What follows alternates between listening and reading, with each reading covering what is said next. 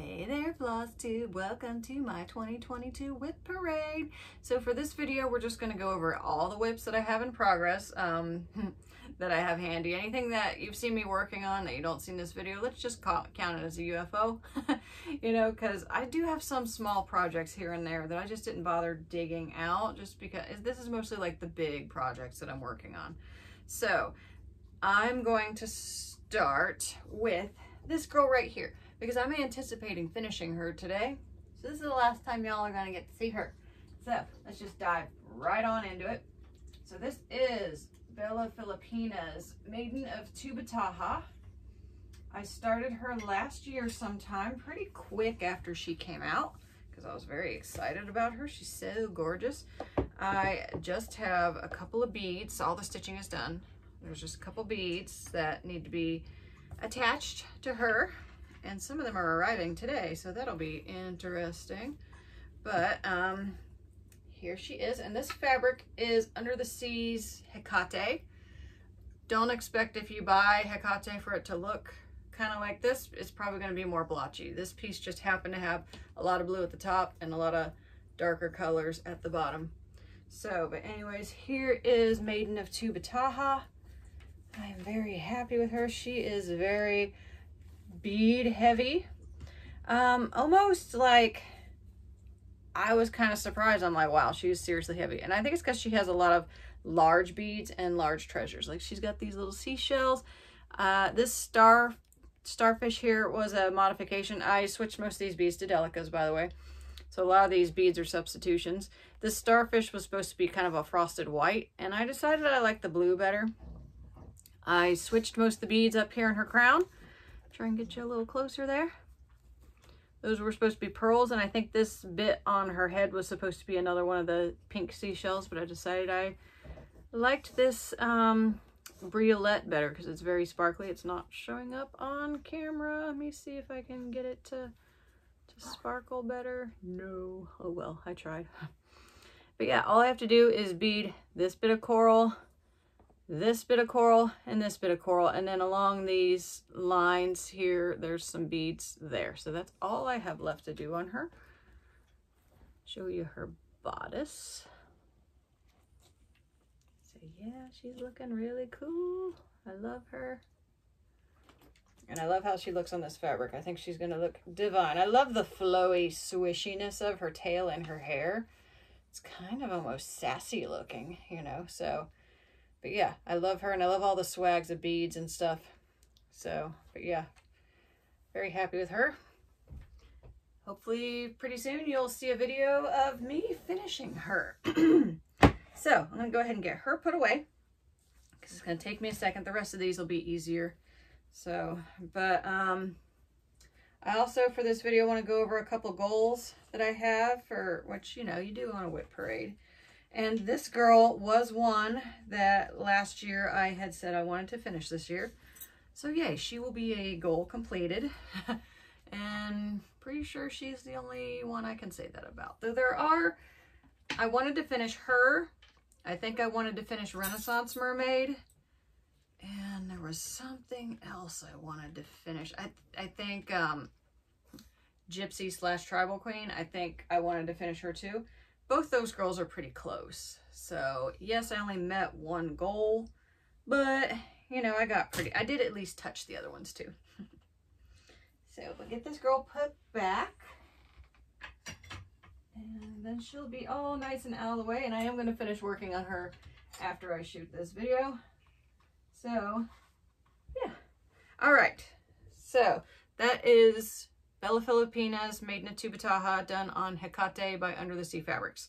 Uh, she will be my first Bella Filipina finish. She wasn't the first one I started. You guys will see her, and then I'm going to feel real guilty when I pull her out because I don't think I touched her at all this year. And she is so cool, so I feel kind of bad about that. So I almost want to call this a 2022 guilt trip for Lori. so, but anyways, let's see here. I'm going to pull out, this is gypsy slash tribal queen. Gypsy's a racial slur, so I don't like to, to use that term, but if you're going to look for this design, you're not going to find it under tribal queen. So here she is. So all I got left on her is her skin beads and this chunk of her tail, and there's a few little bits in here too. But I do really like her. She's very cool. She's fun to stitch. Like, I thought the geometric pattern, like at the bottom of her tail, I thought that would be annoying, but it's actually pretty fun.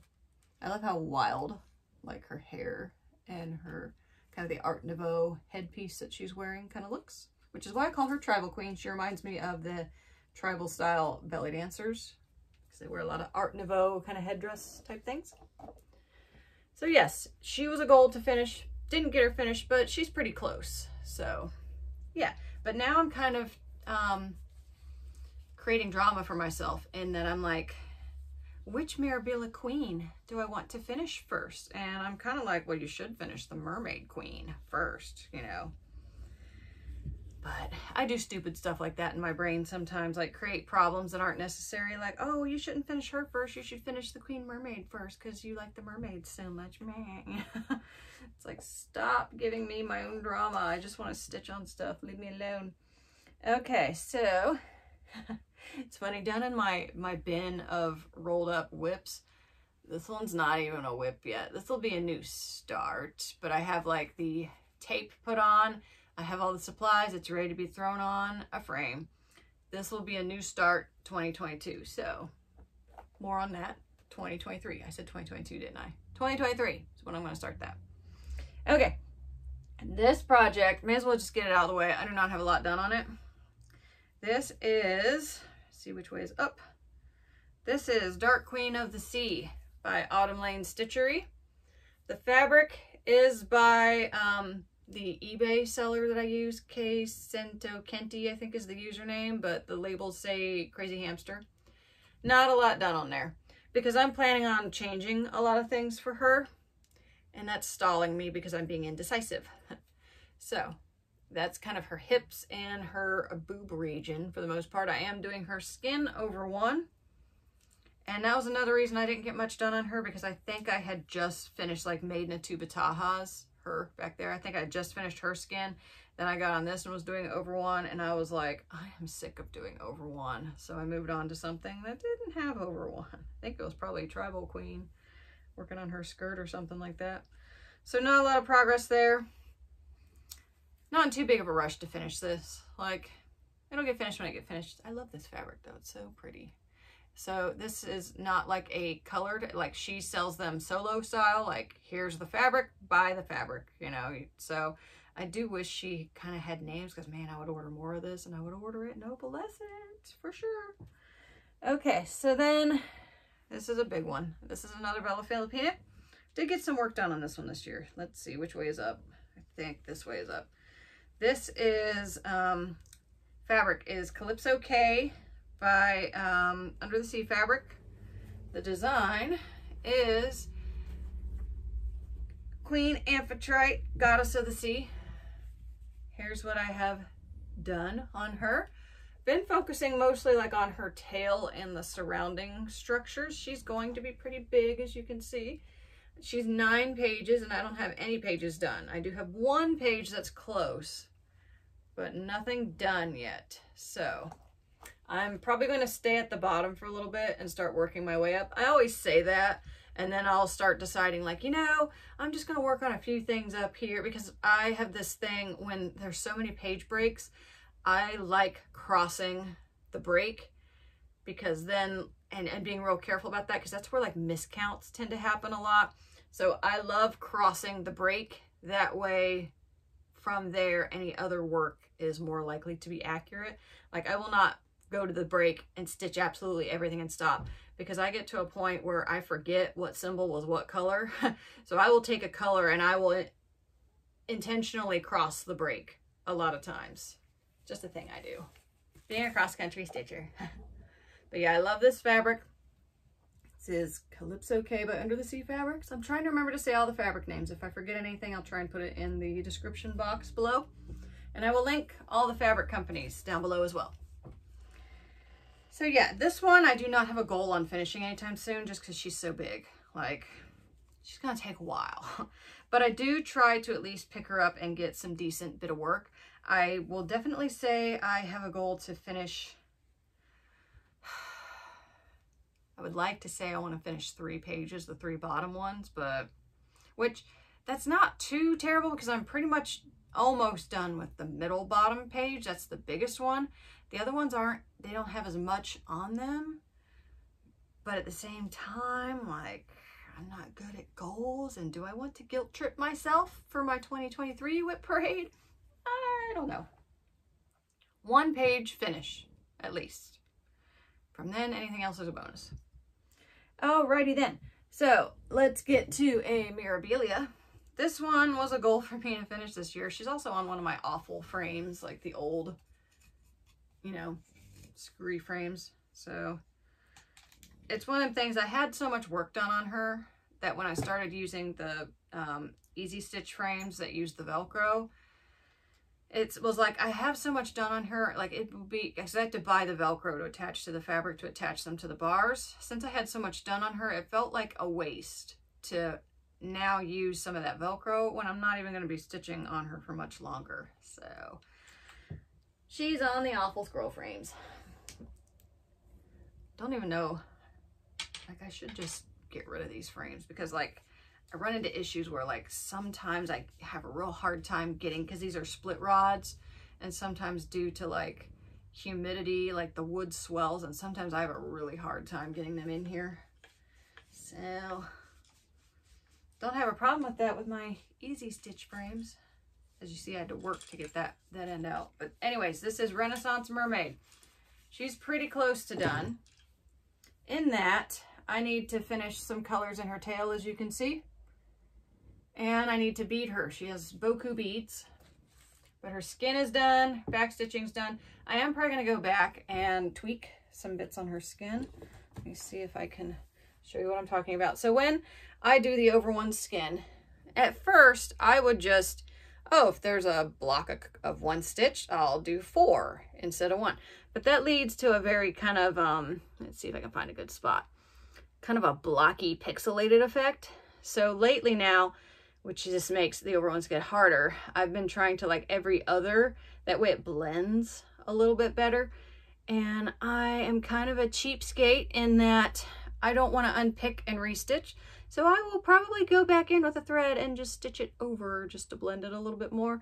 I also kind of want to smooth out some of the back stitching areas a little bit. I did that around her jawline for the most part because some of the back stitching like there was some skin hanging out in her hair, there was some hair hanging out in her face, so I kind of neatened that up a little bit.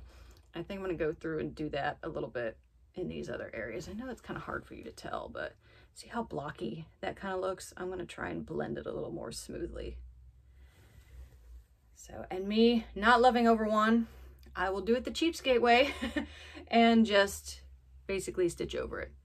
But yeah, she's got a lot of beads. Like she's got this cool choker. She's got a cool kind of like headdress. She's got some in her hair. She's got some kind of billowing around her. But I got to do more on her tail. Yeah, but she's not too, too far from done. She is very pretty. I think she's, I would say one of the prettiest faces of the Mirabilia mermaids, in my opinion. Which is why I wanted to start her so quick. This fabric is also by the gal on eBay, K Cento Kenti. I also don't know if I'm saying that correctly, but that's what it looks like to me. Um, Crazy Hamster, so this fabric is a solo. Same for um, Tribal slash Gypsy Queen. Forgot to say that when I held her up, so. But I feel like I've been stitching on her so long. If you've been watching my videos, you're probably familiar with those details. so, oh gosh, these, these scroll frames are the worst. I hate them. But I'm almost done with her. So I won't have to suffer through it for too much longer. So let's get that all screwed back on. And with these, because it's such a pain to like um, get the fabric through the split rods, like sometimes I shred the fabric doing that, then you got to play with getting it all straight. With that being such a pain in the butt, I tend to leave these on the bars just because I don't like taking them on and off. Because it's a pain. So, but yeah, there she is. Would have liked to have gotten her done this year, but she's close. So she'll definitely be able to be finished next year. So she'll just overflow. Okay, got another large piece of fabric here with no stitching on it. This is going to be for Japanese Zen Moss Garden. It's already got the tape on it and everything. I just, I spent a day ironing it and then didn't throw it on the bars right away because I think another project distracted me for the most part. But because I had ironed it, I didn't want to fold it again. So I rolled it and put it with all my WIPs. Okay, so let's get into another Mirabilia. This is the Queen Mermaid. And here she is by Mirabilia. So this is what I've got done on her. She's, you know, I still got the fat portion of her tail to do, still got all the beads to do, still got the skin to do. So I think there's a few more like um, vines that I've got to do, like seaweed or something. I still need to do those. This fabric is Banshee by Under the Sea Fabrics. I have ordered more Banshee and it doesn't quite look like this. This one's got a lot more like sea foam, greeny, blue, purple colors in it. And the other one I have, it's more like navy blue and brown. So just keep that in mind. If you're like, oh my God, I love that fabric. I want to get some. It might not look like this, which that's true about overdyed fabrics all the time anyways, but just, just giving you a fair warning. I do love how she looks on this fabric. I think it looks cool. So, but yeah, I like her. I wanted to finish her this year too. I wanted to finish so many things this year. maybe, maybe next year will be her year. I definitely need to finish another mermaid next year because I got a lot of mermaid whips and I'm looking at starting a lot of new mermaids. So, yeah, there she is. I am tempted to put her on. This is the one that also I repaired the fabric and I can't even, okay, right here, the spot right here. It's where I repaired the fabric. Can't even tell, can you? I have a video on that. So yeah, check that out if you accidentally snip one of the threads in your linen. I have a video on how to fix that. Okay, so next one we're going to look at is going to be a chatelaine. So this is Misty Morning Vineyard by Chatelaine. And I've got some fleece on here because the center is beaded. And this is also on my awful scroll frames. This one, hmm, I might sacrifice some Velcro and put it on the proper scroll frames just because, like, ugh. I'm such a snob. It's more the way the scroll frame scroll frame feels in my hands. Like the edges are so sharp and kind of splintery, whereas this is all polished and sanded and varnished and smooth. My hands are little divas and they like things to feel nice. So, but let me get this unrolled so I can show it to you. I do know that since the last um, time you guys saw this on a whip parade, I did get the peacock's body, one of the peacock's bodies done. And I kind of struck border for the most part, technically. Oh gosh. See, this is why I hate these things. They're so hard to get off. Oh my God. I'm just going to unroll it. Listen to that. That's how tight it's on there. Arm workout. Okay. So here we be. And I, I remember when I was stitching on this one this year, um, I was like, I'm going to finish all the pillars up on top here. And then I just got to this spot and I was like, I'm done. I want to stitch something else. So yeah, I almost, technically I rounded a corner for the most part because I think the very top of the design is right here. So technically I struck border even though it's kind of a, a weak attempt at striking the border. But I did get one peacock finished and it is lovely. And I'm so glad I did the over one because I restarted it to do the peacock's body over one, just like from here up, it's over one. It does look so nice. I'm very happy I unpicked it. At first I was kind of conflicted about it. Like, is it worth it? Can you even tell? I can tell. So yeah, but I love the center in this piece too. And I need to do, there's grapes that go around here that are beads and I haven't done them yet. And I've been real like low key wanting to see how that looks because I think it's gonna look so nice. I would like to get this girl finished. She's my closest chatelaine to a finish because, you know, I've touched border. You know, all my other chatelaines, mm, border's not touched. Which I think I mentioned this the last time. I've got so many chatelaine kits that I sometimes feel like I have more chatelaines in progress than I actually do. So I'm thinking this year I need to remedy that, even if it's just like a weak start. Typically when I start a chatelaine, I like to finish the center part of the mandala first. Um, but maybe I will just like, come on, just get it started. You know, like, so, but this one's the closest I have to done. It's not one of the hugest chatelaines. So it's kind of, I don't know, a weak saying that, oh, this one's close to done because it's kind of one of the smaller ones. But yeah, what can you do? Alrighty. I know I'm doing these all out of order. I think last time I tried to like group the designers, but I'm just going by the order they're packed away in my little whip thing. Oh, here's another one that like I hate the scroll frame so much. Like I didn't, I, I don't even think I got it on the other side. So I, I need to just switch this one. This fabric is juicy though. So this is another Bella Filipina. This fabric is Bliss by Ships Manor. And let me get this undone. This scroll frame is just garbage. So she's not even halfway done, I would say. She's mostly an outline, if anything. I need to work on her more, though, because she's purple. And technically, I don't think I have a purple mermaid, you know, done, at least. So, planning on doing her skin over one. That's why she looks kind of like a ghost or like Medusa. I love this fabric. It is so juicy. The only problem with it is it's not opalescent. I also need to serge this edge here. This edge is still raw, so I need to run it through the serger.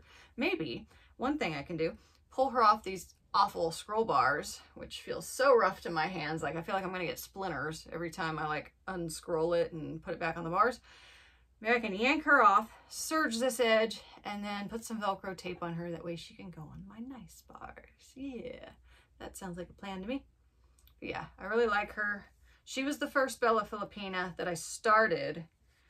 Thought she was going to be my first to finish. But when I bought her, was right when I was coming back from my stitching hiatus. And there wasn't at the time a lot of Bella Filipina designs. There were a fair few. Like, gosh, I can't even get this turned. There we go. Um, but she was purple, so I was all excited. Like, oh my God. And this is Heiress of Atlantis, if I haven't said it first. She's the one I always forget her name. so, but she's heiress of Atlantis. And when I bought her, I was like, oh my God, yes, a purple mermaid. Awesome, sweet. And I was like, yeah, I'm going to stitch her. Well, then all of a sudden, Bella Filipina started putting out mermaid after mermaid after mermaid after mermaid. And when Maiden of Tubataha came out, I was like, oh girl, like I'm stitching you. So, because I really like the flow of her. Not that I don't like the flow of her. It's just, I don't know, it was, she was just super flowy. Okay. So that is all in this bin, but that is not all, all. So let's get everybody put back. And like I said before, if I did say it, I like to keep my whips either rolled because I'm kind of a weirdo about wrinkles in my fabric. Forgot one. Hang on, let's put this away. And the next piece is a big one. This is a chatelaine. Y'all know it, it's Serengeti. Like a yard across practically. Had to buy a full yard of the fabric for it to fit. This fabric is not Parkland. I bought two fabrics from Silkweaver for this design and decided whichever one I didn't pick would go on Japanese Zen Moss Garden. I think Japanese Zen Moss Garden is Parkland. So I'm not sure what this color is, but also I don't recommend ordering from Silkweaver because you may get your fabric, but if you email them saying, hey, where's my fabric, you will not hear a word from them. And a lot of times when you get the fabric, it's not quite to your liking. And then again, good luck getting a hold of them to tell them you're not happy. So here's Serengeti. I love this mandala. I want to put more work into this one too. Um, mostly what I worked on were these elephant panels. Um, the next thing I'm going to do, there's these little grass huts around these little square bits here. And I'm real excited to do those because they have a lot of fun texture on them. That in the middle of this one's really cool. It's very sparkly. Love it. So yeah, this is Serengeti mandala. And yeah, this piece is obviously um, larger than uh, Misty Morning Vineyard. But I almost want to say I almost feel like I have more done on this because everything that's in the middle is so dense, whereas things are a little bit more loosey-goosey on Misty Morning Vineyard. That's also a smaller piece. So, but yeah, I definitely want to get more done. This one's not getting done this year. It's too big. So that's not even a goal. Maybe a nice goal will be to strike the first animal panel, which if I recall correctly, I think my top, I think I want the giraffes to be up top. So I think maybe the giraffe panel will be the first one I hit. And I say hit, not finish, because I'm not trying to make myself feel guilty when I'm watching this again a year later to see how well I did. so this is one thing reason why I don't have goals is I don't like beating myself up when I don't make them. So if I do make a goal, I try to make it fairly simplistic. This is a king size pillowcase, by the way. And for the most part, this design is my biggest, so it just kind of stays on the bars, which I like because then I can put it away all nice and neat and it doesn't get wrinkled or anything. If it does get wrinkled, once I put it on the bars and tighten it up, it takes all the wrinkles out. So, okay. So, another big piece that I have stored away in another pillowcase. This is a king size pillowcase. But let's see what we got here. Okay, so this one, this was a new start from this past year, which was a goal for me to start this design. So this is, hang on, see where my top is. Okay, top's over here. So this is um, Rainforest Lace Mandala. Fabric is Kaleidoscope by Fabrics by Stephanie, opalescent. And here's what we got. I really like the, the leaf satin stitches around the middle. I don't know if you guys can see that. But yeah, I really like it. And I added the butterfly in the middle. It was supposed to be something else, but I just thought the butterfly fit for the rainforest. That and there are some butterflies on this design. I think my goal for this piece is to, hmm,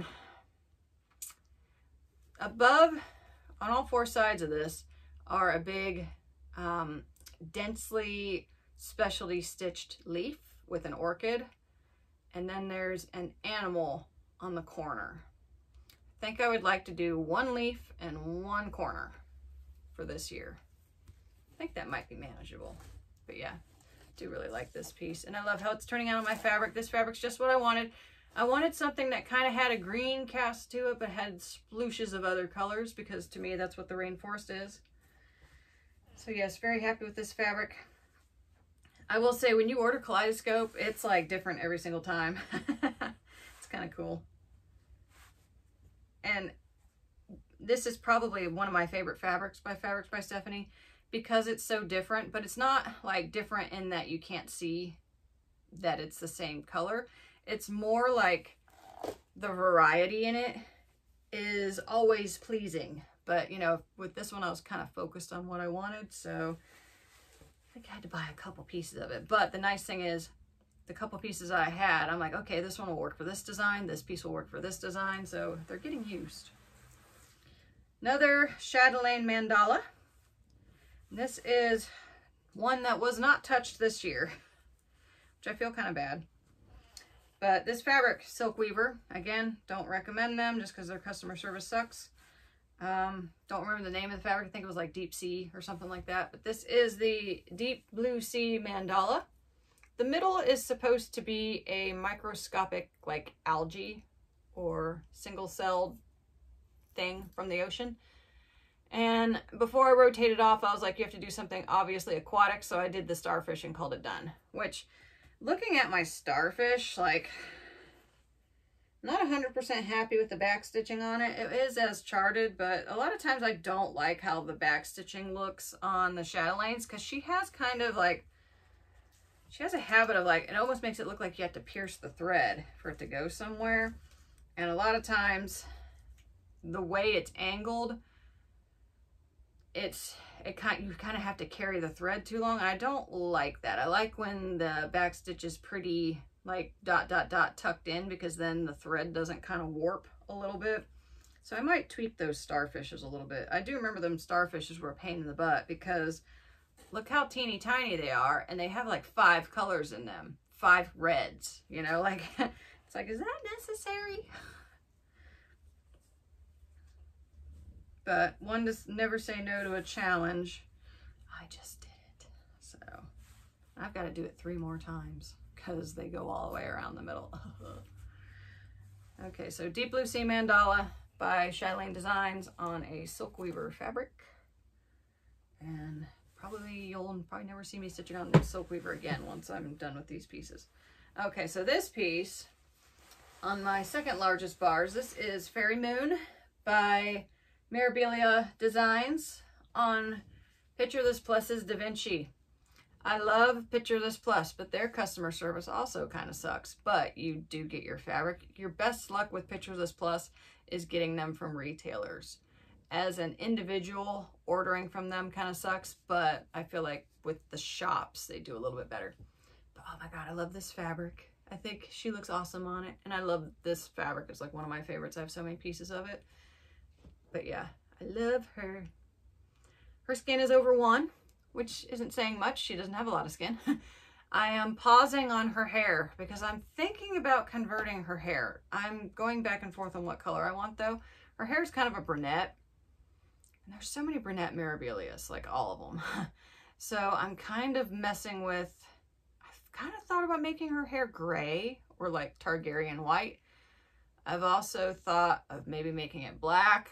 I've also thought of maybe making it gray and purple, like giving her not human hair color. I don't know. I just don't want it to be brown because almost all the Mirabilias are brown. There's a couple blondes and a couple auburns, you know, but for the most part, most of them are brunettes. So while I think silver would be cool, I don't know if it would stand out enough. That and her dress is all white, so that might be like too much type white. That's why I started thinking about maybe silver with purple undertones. You know, like back in like two, three years ago when lavender colored hair was a thing. Like maybe she can have some lavender colored hair. Though I don't know if that'll mix with the fabric too much. No real goals for her. This is a restitch for me. I've stitched her once before. Um, I didn't care too much for the fabric. This was like 20 years ago, you know, that I stitched her. And I did sell the finished piece, so I can't show it to you. It is in my scrapbook, though. I have a video on my cross-stitching scrapbook if you want to see it. But um, she's pretty big. Uh, I think I want to finish her wing before I move on to her dress because her dress is a bunch of white and it's going to be a little boring. So really I should start on the dress. That way I still like, once I get tired of like gray and white, I can move on to the wing for some color. She's also got a ton of beads on her, which I am converting to Delicas. I think she's a 32 count too, so that's definitely necessary. But yep, that's her. And I think that concludes all my WIPs, which is funny because I always feel like I have so many WIPs and then like I pull them all out for you guys and it's like, where are they? I think it's because I have so many pieces kitted up, ready to go, ready to start, and I just haven't started them yet, that in my brain, they're WIPs. so yeah, I've never been one to like, oh, you can only have five WIPs and you have like you rotate off each of them every week. I'm not someone with a strict rotation or like a number limit to what I'm stitching. I just stitch on what I like for the most part. But I do think for 2023, I'm probably going to make it a goal to start a lot of those pieces that I have kitted up that I want to start. So I think I've got Renaissance Mermaid and Tribal slash Gypsy Queen far enough that for sure those two can get finished next year. So I think it'll be okay for me to start a bunch, you know, because one of the problems I ran in with her was I wanted to stitch on her so much that she was like all I stitched on. Same with um, Tribal slash Gypsy Queen. So a lot of my other works in progress got neglected a little bit. So I am a little bit leery about adding so many more um, because then I can't stitch on the ones I already have going so much. But because I'm finishing her, Tribal Queen's close, Renaissance Mermaid is close, those are going to be knocked out of the way so they will make room for more. so hope that made sense. I kind of rambled on there a little bit. Welcome to my brain, you know, but that's kind of what kind of thought processes I go through. So anyways, that was my 2020 WIPs. Um, probably shoot another video for 2023 new starts. That'll probably come out in January sometime. Anyways, thank you guys so much for watching and I will see you guys next time. Bye-bye.